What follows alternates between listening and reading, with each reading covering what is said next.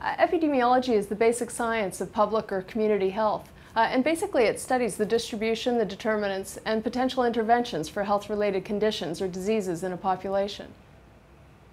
Epidemiology, as it's practiced today, focuses on a spectrum of health conditions and health-related events, including uh, infectious disease, which uh, in the early days of epidemiology uh, was, was a prominent component of, of the science uh, to also include uh, uh, studies related to chronic diseases, environmental and uh, behavioral problems, as well as injuries. Three roles of epidemiologists include, first of all, understanding the who, the where, and the when uh, of how health conditions or diseases occur.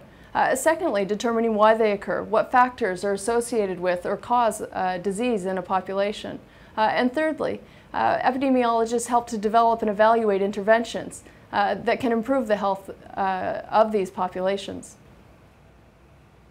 An example of work as an epidemiologist is a field of study that I'm uh, involved in, uh, looking at chronic low back pain. Uh, working as an epidemiologist in this field, I describe this condition, uh, specifically for me related to working populations. Uh, as an epidemiologist, I work to investigate what prognostic factors, for example, what characteristics of the individual, uh, characteristics of their social or their work environment that may be associated with or cause long-term disability in this population. Uh, I also work as an epidemiologist to inform what treatments might be likely uh, to work to improve the health of this population.